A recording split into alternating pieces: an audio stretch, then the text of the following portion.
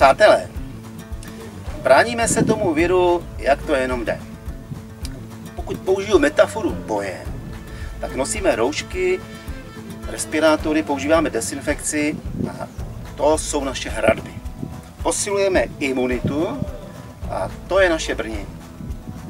Ale říkám si, jestli není na čase přejít do útoku. Znáte všichni čení zarazit někomu nebo něčemu hřebík do rakve. Pojďme toto rčení posunout na úroveň skutečného činu. Pojďme zarazit koronaviru hřebík do rakve. Toto jsou naše zbraně. Kladivo, hřebík. Každý doma něco takového má. Jsme národ kutil.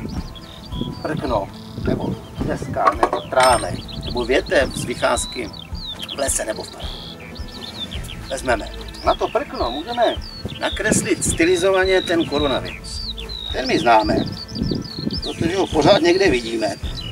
Je hrozně jednoduchý. Takhle. Hra, tohle by mohl být on. A teď potáhnu. Tím kladivem. Ten hřebík za námi.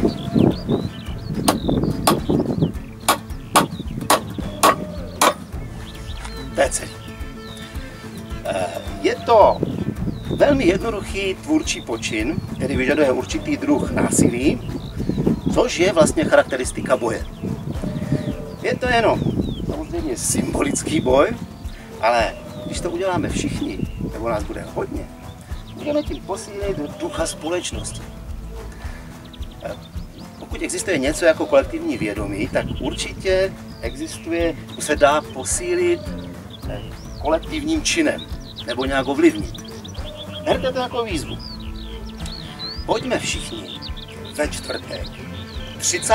dubna v 17 hodin, to znamená 5 hodin odpoledne, zarazit koronaviru hřebík do rakve. To je předvečer svátku práce, ale hlavně je to Filipo Jakubská noc, pálení čarodejnic. To by se mohli dít kouzlo. Ono to vlastně nese trochu znaky kouzla vůdu. Proč ne? Vyfoďte se u toho, nebo natočte video a sdílejte to na sociálních sítích, jak jenom umíte. Protože když se tahle výzva rozšíří virálně, eh, tak přispějeme k poražení toho viru jeho vlastní strategii. To mě přijde docela fajn. A pak ten špalík nevyhazujte. Protože až se to všechno přežene a my se budeme moct nadechnout, tak můžeme pověsit roušku na hřebík.